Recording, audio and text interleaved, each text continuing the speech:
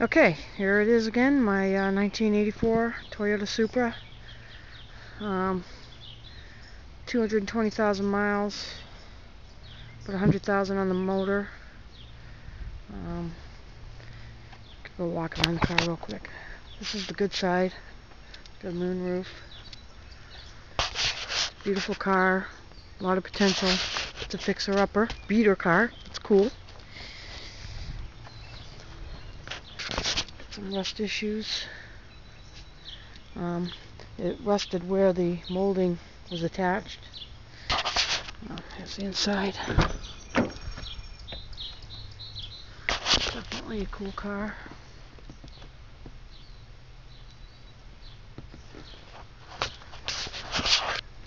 Um, cleaned up the inside, cleaned up very well. Um, but I need to do the uh, camshaft seal. Show you.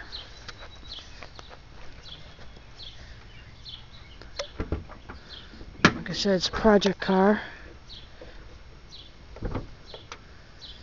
As you can see, I already took the timing belt cover off.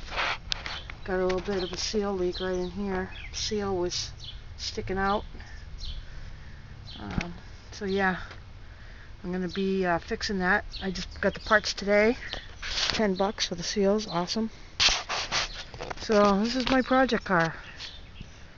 Pretty cool car.